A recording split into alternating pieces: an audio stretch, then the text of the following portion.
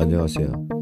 스마트폰에서 예, 사진으로 동영상을 간단하게 만드는 방법에 대한 설명을 드리겠습니다. 먼저 이 예, 스마트폰의 플레이스토어에 가서 키네마스터라는 앱을 설치합니다. 현재 스마트폰에서 가장 뛰어나고 우수한 예, 동영상 제작 앱은 키네마스터입니다. 설치한 후에 키네마스터를 터치하면은 예, 화면이 초기 화면이 이렇게 나타납니다. 이게 이 부분이 있죠. 여기 프로젝트인데 이걸 터치합니다. 이걸 터치해서 이걸 툭 터치해서 여기에서 16대 9로 합니다. 16대 9를 터치합니다. 툭 터치해서 그 다음에는 미디어를 터치합니다. 미디어를 터치하면 자기 스마트폰에 있는 모든 동영상이 여기에 나타납니다. 저는 이 중에서 하나를 스위스 사진을 가지고 한번 해보겠습니다. 사진을 한번 이렇게 제가 툭 터치하면요. 아무 사진이나 자기가 원하는 대로 제일 처음에 오는 사진을 이렇게 여기서 툭 이걸 터치하면 이 사진이 이렇게 내려갑니다. 이걸 툭 터치하면 이 사진이 이렇게 내려갑니다. 자 해보겠어요. 툭 터치하니까 아래 내려갔죠. 툭 터치네 알이 내려갔죠. 이렇게 툭툭툭툭툭툭툭 이렇게 터치합니다. 그래서 사진을 한 스무 살 내지 스무 장 내지 이 서른 장 정도 이렇게 가져옵니다. 그렇게 한 다음에 여기 저장 있죠. 이걸 터치합니다. 이걸 툭 터치합니다. 그리고 여기서 에, 이것이 맨 앞으로 요, 요 아이콘이 맨 앞으로 가는 그런 이 타, 요, 요 부분을 타임라인이라는데 타임라인이 맨 앞으로 가는 아이콘입니다. 여기서 맨 앞으로 갔습니다. 여기서 플레이하는 아이콘 이겁니다. 이걸 터치해서 플레이 한번 해볼게요. 툭 터치해서 이렇게 사진이 이렇게 사진이 보세요. 사진이 이렇게 움직이죠. 사진이 저절로 움직이게 되어 있습니다. 이렇게 키네마스터에서 그렇게 설정을 할 수 있습니다. 아주 멋진 사진이네요. 그래서 이것을 이렇게 한 다음에 예, 글자를 간단하게 넣어 보겠어요. 레이어로 갑니다. 레이어로 가서 텍스트란 T가 있죠. 이걸 터치합니다. 터치해서 입력을 합니다. 예, 아름다운 스위스 뭐 이렇게 한번 해보겠습니다. 아름다운 스위스 이렇게 자기가 원하는 대로 수 있겠죠. 그리고 확인을 누릅니다. 그럼 여기 보시면 화면에 보세요. 아름다운 스위스로 되어 있죠. 그래서 요, 요 부분을 누르면 색깔을 바꿀 수 있습니다. 그래서 이것을 노란 색깔로 제가 바꿨습니다. 노란 색깔로 이렇게 바꿨어요. 글자 희미하죠?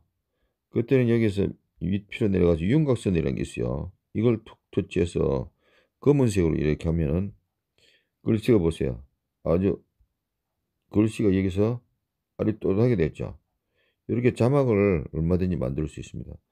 그리고 오른쪽 상단에서 V 눌러서 터치해서 저장을 합니다. 그리고 여기에 음악을 넣습니다. 음악을 넣는 방법, 오디오를 터치하면 돼요. 음악을 넣는 방법, 여기 오디오 있죠? 오디오 이것을 툭 터치해서 쭉 자기가 원하는 음악을 가져오면 되겠죠. 저는 여기서 에, 여기서 뭘 가져오느냐 하면은 에, 음악을 지금 고르고 있어요. 예, 고르겠는데 요건 가져올게요.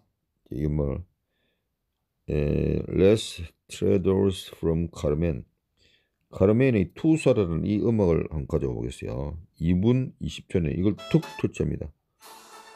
툭 치한 다음에 플러스를 누르면 돼요. 이 플러스 있죠? 플러스를 누르면 돼요. 지금 음악이 막 들리죠? 플러스를 누르면은 음악이 이 하단에 이렇게 내려옵니다. 그리고 저장을 합니다. 플레이 한번 시켜볼게요.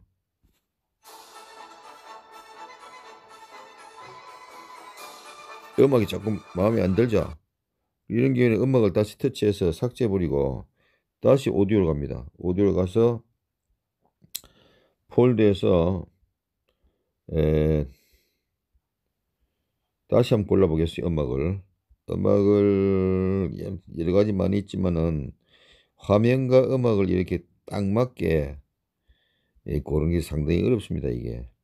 그래서 음악에 대해서 어느 정도 알아야 되는데 제가 음악에 대해서 별로라서 예, 고르는데 좀 힘드네요. 여기 쭉 이렇게 많이 있습니다. 저는 음악이 굉장히 많이 모아놨는데 거기서 하나 골라보겠어요. 에, 이사도라를 제가 찾으려는데 잘 안, 빨리 안 나오네요. 여기 이사도라가 여기 있네요. 이사도라. 요거 터치했습니다. 그래서 플러스를 누르면 음악이 그리고 저장을 합니다. 그럼 플레이 시켜 볼게요. 이렇게 음악이 나오죠. 음악이 들어왔습니다. 그리고 이렇게 사진이 조금씩 움직이는 게 보이죠. 이렇게 움직이게 됩니다. 그러면 이걸 저 끝에 가서 여기 보시면은 사진은 여기서 끝나는데 음악은 계속되죠. 그래서 음악을 이 뒷부분을 잘라야 됩니다. 이렇게 음악을 툭 터치해서 왼쪽에 보면 가위가 있습니다. 가위를 터치해서 오른쪽을 잘라버리면 돼요. 여기서 playhead 오른쪽 trim 이걸 터치합니다.